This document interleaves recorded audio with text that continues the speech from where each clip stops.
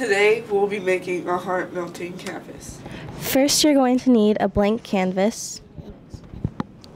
Second, you will need crayons. Third, you're going to need a plastic bag. Fourth, you'll need a glue gun. And then glue sticks to go with the glue gun. Seventh, you will need a, a blow dryer. Eighth, you're going to need some tape. Last but not least, you need a pencil. First, you need the canvas and the pencil so you can outline the heart on the top of the canvas. And then you need to pick the colors of crowns that you need.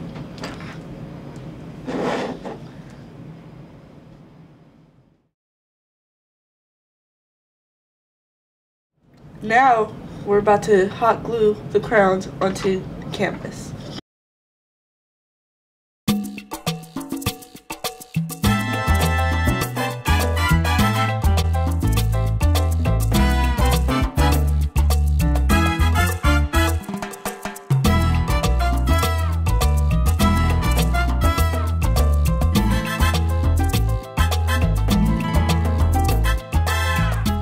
Next, we're going to need the canvas with the crayons already glued on and the garbage bag.